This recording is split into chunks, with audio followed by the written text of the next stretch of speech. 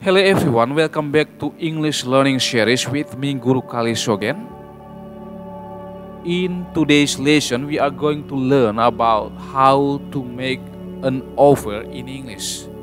Halo semuanya, kembali bersama saya Guru Kali Sogen dalam pembelajaran bahasa Inggris seri masa pandemi COVID-19. Pada pembelajaran kali ini kita akan belajar ungkapan-ungkapan untuk menawarkan bantuan jasa maupun barang kepada orang lain. Kita juga belajar bagaimana merespon sebuah tawaran atau bantuan dari orang lain. Sebelum kita lanjut, bagi yang belum subscribe, silakan subscribe channel YouTube Temutula Maholot agar dapat mengikuti setiap seri pembelajaran bahasa Inggris masa pandemi COVID-19. Oke, langsung saja kita mulai dengan mendengar sebuah percakapan antara Jordan dan Sarah. Jordan akan mengecat rumahnya dan dia akan pergi ke toko membeli bahan-bahan yang diperlukan. Sementara Sarah akan menawarkan bantuan kepada Jordan. Dengarlah ungkapan-ungkapan yang digunakan oleh Sarah untuk menawarkan bantuan dan bagaimana Jordan merespon tawaran bantuan dari Sarah. Setelah Anda mendengar percakapan itu, Anda diharapkan untuk menjawab beberapa pertanyaan berkaitan dengan isi percakapan itu.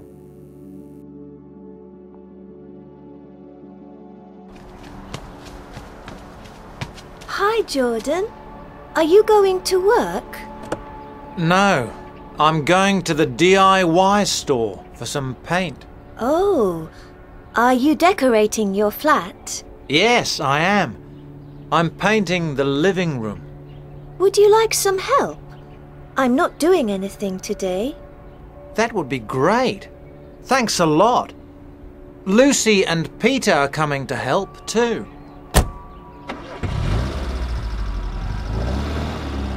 Baik adik-adik, dengar sekali lagi percakapan itu dan jawablah pertanyaan-pertanyaannya.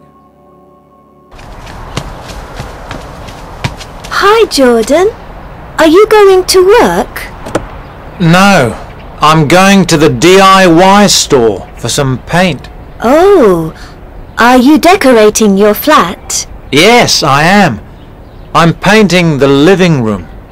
Would you like some help? I'm not doing anything today. That would be great. Thanks a lot. Lucy and Peter are coming to help too.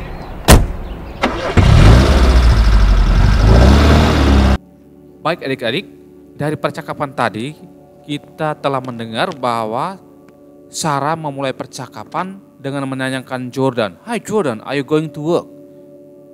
"Hai Jordan, apakah kamu mau pergi bekerja?"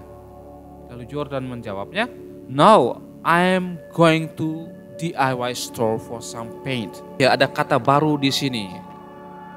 DIY store. DIY store atau toko DIY itu biasanya toko yang menjual peralatan atau perlengkapan-perlengkapan untuk pekerjaan rumah. Misalkan peralatan-peralatan pertukangan.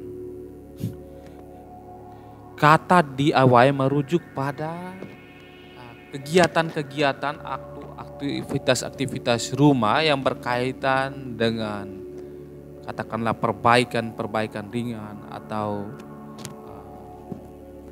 misalnya perbaikan jendela atau pengecatan ulang tembok atau perbaikan kunci uh, pintu uh, itu adalah pekerjaan-pekerjaan DIY yang tidak uh, perlu membutuhkan tukang profesional untuk melakukannya.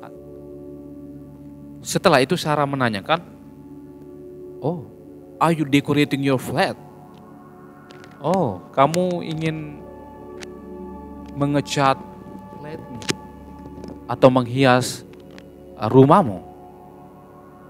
Yes, I am. Jordan menjawab, ya, I am painting the living room. Saya akan mengecat ruangan tamu.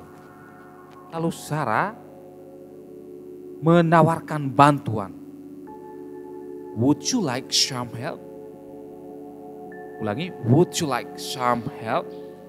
Apakah kamu mau bantuan? I'm not doing anything today. Saya tidak melakukan sesuatu hari ini. Jordan menjawab, That would be great. Oh itu luar biasa. Thanks a lot. Lucy and Peter are coming to help too. Terima kasih banyak. Lucy dan Peter akan datang menolong juga. Baik adik-adik, sekarang kita belajar lebih jauh tentang ungkapan-ungkapan yang digunakan untuk menawarkan bantuan kepada orang lain. Pola pertamanya kita bisa gunakan kata would you like ditambah noun phrase. Misalnya dalam dialog tadi, Sarah menyatakan would you like some help? Atau contoh lain, would you like a cup of coffee? Would you like some orange? Jadi kita gunakan kata would you like ditambah noun phrase.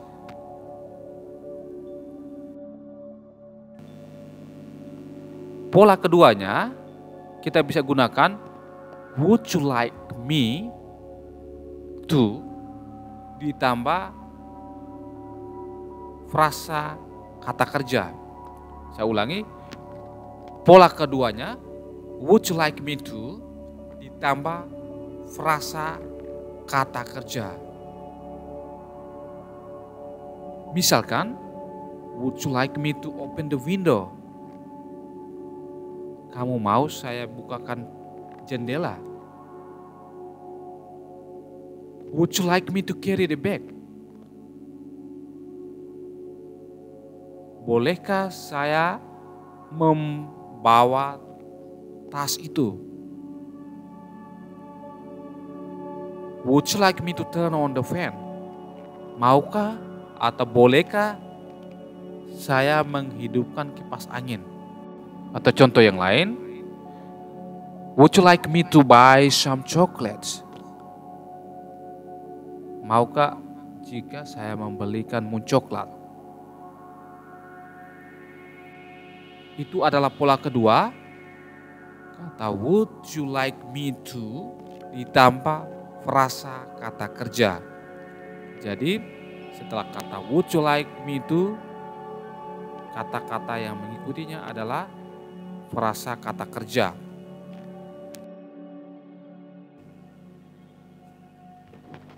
Pola yang berikut kita bisa gunakan can I ditambah frasa kata kerja. Misalkan, can I help you? Can I carry the bag? Can I get you some water?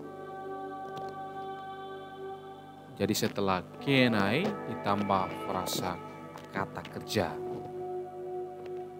Kata can I ini uh, memiliki banyak makna tergantung dari konteks penggunaannya. Ini bisa dipakai untuk menawarkan bantuan, bisa juga dipakai untuk meminta izin, misalkan nah, uh, katakanlah kita mau menggunakan komputer seseorang, lalu kita bisa katakan, bisa meminta izin dengan kata, Can I use the computer? Pola yang berikut kita bisa gunakan shall I ditambah frasa kata kerja. Misalnya, shall I help you with the project? Shall I shut the door? Shall I bring some fruits? Jadi kita gunakan kata shall I ditambah frasa kata kerja. Sekarang kita belajar tentang ungkapan-ungkapan atau ekspresi-ekspresi yang digunakan jika kita menerima tawaran bantuan dari seseorang. Kita bisa gunakan ungkapan Yes, please. Yes, I'd love to. Yes, that would be great. Yes, please. That would be lovely. Yes, if you wouldn't mind. That's very kind of you. That sounds nice. Thank you. I'd like to. Itu adalah beberapa respon yang kita berikan jika kita menerima tawaran bantuan dari seseorang.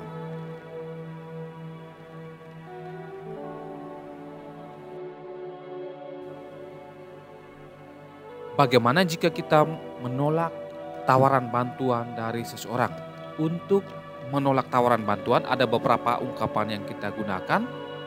Kita bisa katakan no thanks, tidak terima kasih. It's okay, I can do it myself. Baik, uh, saya bisa melakukannya sendiri. Thank you for your kindness, but I can do it myself. Terima kasih atas kebaikanmu, tetapi saya dapat melakukannya sendiri. Don't worry, I can do it. Jangan khawatir, saya bisa melakukannya sendiri. I appreciate that, but I can do it myself. Saya menghargai tawaran bantuan darimu, tapi saya bisa melakukannya sendiri. Itu adalah beberapa contoh bagaimana kita menolak tawaran bantuan dari, dari seseorang. Hal yang perlu diperhatikan adalah jika kita menolak tawaran bantuan, kita harus menolaknya dengan bahasa yang sopan. Harus ada kata terima kasihnya atau kita bisa katakan seperti tadi. Thank you for your kindness. Terima kasih atas kebaikanmu. But I can do it myself. Atau bisa kita katakan I appreciate that. Saya menghargai tawaran bantuan. But I can do it myself.